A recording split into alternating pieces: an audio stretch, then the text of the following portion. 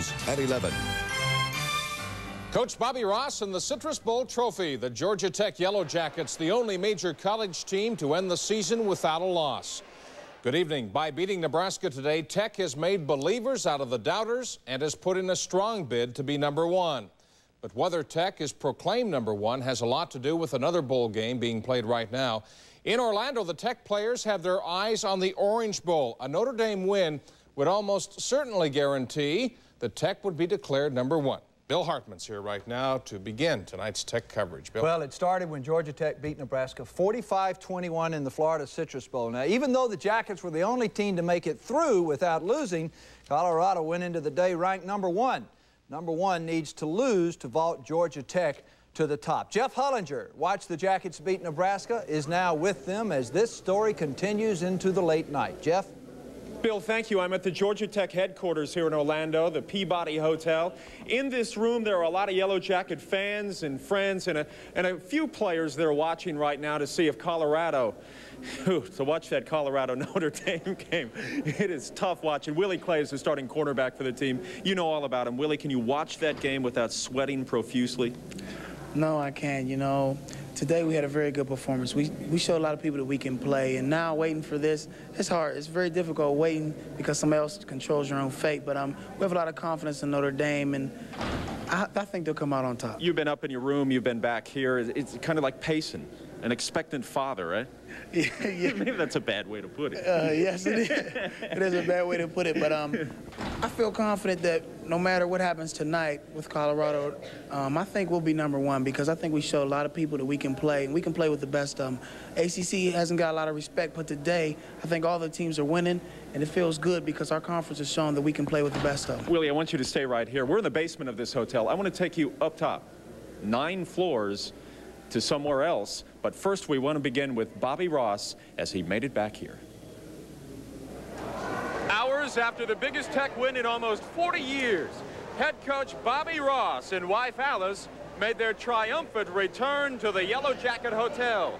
The Orlando Peabody with the Citrus Bowl trophy, and Alice clutching the game ball. Congratulations. Thank you a lot. Thank you. The trophy is securely in the hands of Bobby Ross and his team. Now it's time to see what's going on with the Orange Bowl. We knock on 941. It is the room of Greg Lester and Jeff Wright. Let's see if anybody is home. This is the place. Is this the place? This is the place, Jeff. Your name is? I'm Cherry Collier from Atlanta. Go Jackets! Where's that Greg Lester? Right here. Greg Lester right over there. Greg, what's going on? Well, right now, it's, it's looking all right. It's kind of tied up, but uh, I'm pretty sure the Rocket and Notre Dame will pull it out. You're not scared? Oh, no, not definitely. You know, with the Rocket in there, I know they'll pull it out. For Greg Lester, teammate Jeff Wright, and friends, it was a night to cheer, cheer for old Notre Dame. I'm hoping Dame pulls it together and um, get the act together so they can win this game and we can be national champs. Dame Notre? Notre. Notre. We'll see if Notre can win tonight. There are a lot of Notre Dame fans here in this hotel. Will you introduce me to your family very quickly, your mom and your brother? This is my mom right here. If it wasn't for her, I wouldn't be here today. And this is my little brother, Jason. Hey. He's one of my biggest fans. Jason, you like the game today? Yes. Are you a Notre Dame fan now? Yes. You're trying to see them beat Colorado tonight, right? Right. Mom, you got to be proud. One of the great days for you, I think, as a mom, is seeing your son on national TV and being here in person, too. Oh, yes, I am. It's been a great day, and we're glad we came, and we hope Notre Dame comes out, so we'll be number one. All yes. right. Everybody behind me starting to sing that Notre Dame fight song, right, gang? Right, we'll come back here to the Peabody Hotel in Orlando, Florida. Willie Clay, mom, brother, we appreciate it. I'm Jeff Hullinger, Channel 5 Eyewitness News. Let's go back to Atlanta. Bill? All right, Jeff, we will check back with you in just a few minutes to update everyone now on that Colorado Notre Dame game in the Orange Bowl. Colorado, the number one team, has taken the lead 10 to 9 with about three minutes left to go in the third quarter.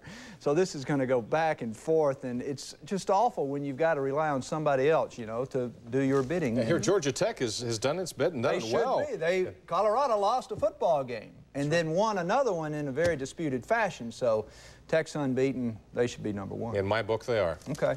You and me. and me too. Okay, Count Brenda. me in. Thanks. Well, for Tech fans, the tension actually began at 1.30 this afternoon. It continues at this hour as they wait to learn, of course, the outcome of the Orange Bowl. Many of them are waiting at local sports bars. Doug Richards has more.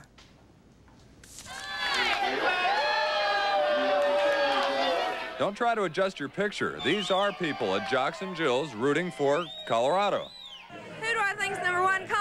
is number one, no question. Georgia Tech is number two, but uh, Colorado's number one. Turns out the local Colorado Booster Club had planned to occupy this bar on this night, long before Georgia Tech joined the hunt for the national championship.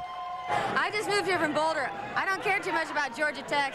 Have you noticed this pile of Colorado people over Yeah, here? we're, we're uh, having a real problem with them. They're pretty impressed with themselves. Have you noticed that? Yeah, we're not impressed at all. No. Tech fans were impressed with their team's Citrus Bowl drubbing of Nebraska. So were some Colorado fans. I thought it was very impressive. Colorado's really going to have to make a great showing, I think, to uh, hold the number one position. well, I still think Tech should be number one. Even if Colorado wins? I think Tech's the national champion due to, the, due to the fact that they're undefeated.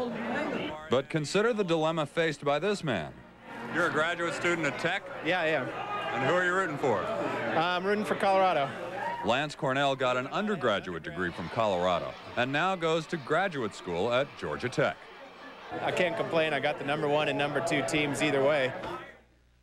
That was Doug Richards reporting from Jocks and Jill's Sports Bar, where Tech fans are anxiously awaiting their team's fate. John?